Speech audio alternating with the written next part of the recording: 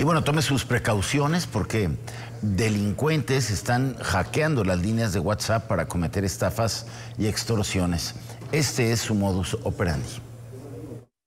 El hackeo de líneas de WhatsApp sigue tomando fuerza como modus operandi para cometer estafas y extorsiones. Los delincuentes no distinguen edades, sexo o profesión. En esta ocasión, la afectada es una mujer psicóloga. Es la doctora Rosa Chávez. En medio del ajetreo del día, recibió una llamada en la que le informaban de la presunta entrega de un paquete que había comprado en línea. Le enviaron un código que posteriormente por teléfono le volvieron a pedir. Ella lo proporcionó y mordió el anzuelo de los delincuentes. Su WhatsApp ya estaba siendo hackeado. Primero les dicen, hola, ¿cómo estás? Ay, fíjate, y luego de inmediato entran y es el mismo modus operandi, ¿no? Este, necesito hacer un pago y en la tarde te regreso el dinero, ¿no? Y entonces le dicen, pues que de cuánto es el pago, ¿no? De 7.500. En, en otras ocasiones a mí me, han, me lo han hecho seguido y me dicen que es de 3.500. Sí, en la tarde te regreso el dinero, ¿no? Y pues la verdad es que yo no, no se los había creído hasta que me pasó. Al momento, la doctora Chávez tiene conocimiento de dos de sus contactos que cayeron en la estafa.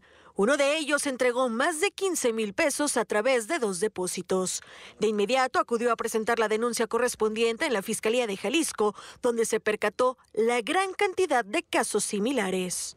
Bastante. De hecho, ya a la hora de estar ellos haciendo el escrito, ya se la saben, ¿no? Le llamaron de una paquetería diciéndole esto y esto y eso. Sí, ya, este, sí, y tal cual le dije, así es, ¿no? Como que ya ha habido varias denuncias. Las víctimas de la estafa detectaron que las cuentas a las que piden realizar los depósitos no están sustentadas por una institución bancaria formal, sino que son proporcionadas sin mayores datos en tiendas de autoservicio. Otro factor para este tipo de prácticas es no contar con la autenticación de dos pasos de las líneas de WhatsApp, lo que las hace vulnerables para ser hackeadas.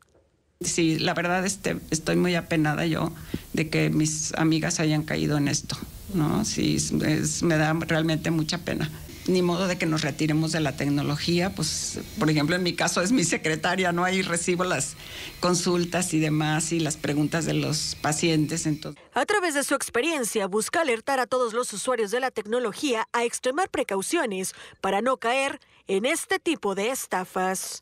Con imágenes de Marco Hernández para las noticias en Priscila Velasco.